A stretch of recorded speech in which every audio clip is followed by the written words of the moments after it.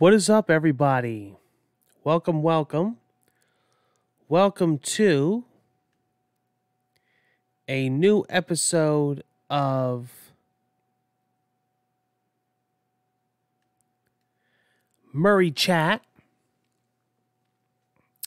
This is the Nintendo highlights recap um, from yesterday. Nintendo came out of nowhere with a uh, Nintendo uh, direct. It's funny. All these big journalists are all saying, "Oh, wow, a Nintendo direct out of nowhere." If you watched my uh, past Murray chat episodes, I told you this was coming um, there was hints that there was going to be two directs coming shortly. This is the one. This was one of them. Um, they just don't pay attention or they forget easily. This was a what they were calling a mini direct. Nothing really major, but some interesting things that I wanted to highlight here. Um, one that I have here on my notes was Animal Crossing, which we've been playing here on the channel, we've been absolutely loving it. Um, is getting an update. The first actual event, holiday event for Easter. It's called Bunny Day.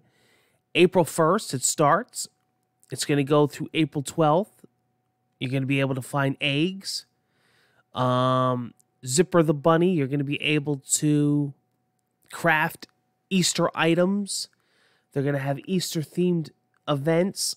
It's going to kick off spring on your island. So keep an eye out for that with the latest Animal Crossing update. Another highlight from the uh, direct was Smash Brothers Season Pass 2. The first character coming to uh, Season Pass 2 in June is going to be a character from the game Arms.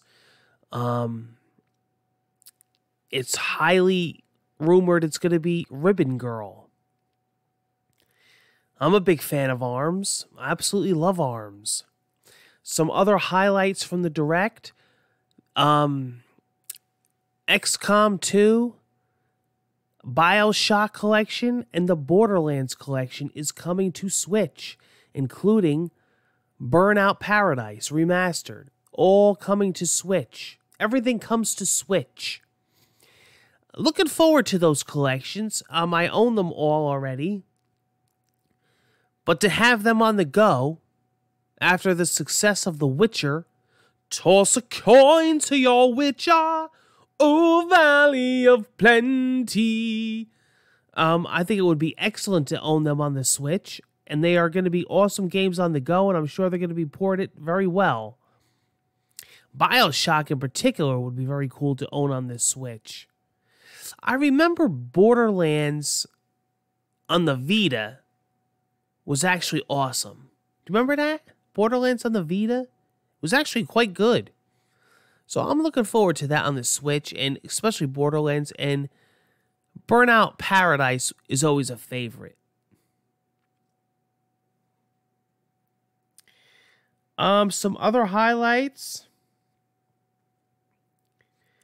Oh, Bravely Default is coming out with Bravely Default 2, slated still sometime in 2020. However, there is a demo available on the eShop right now.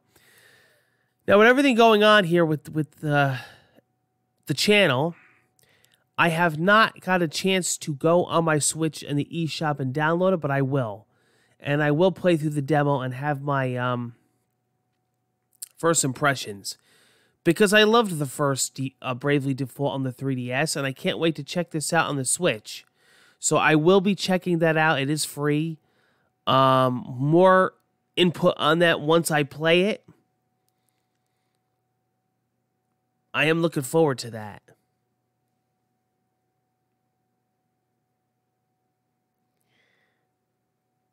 Oh, Catherine Full Body is also coming out on the Switch. That'll be available on July 7th. Um What was that other one they talked about? Oh, Xenoblade Chronicles. Yep. So,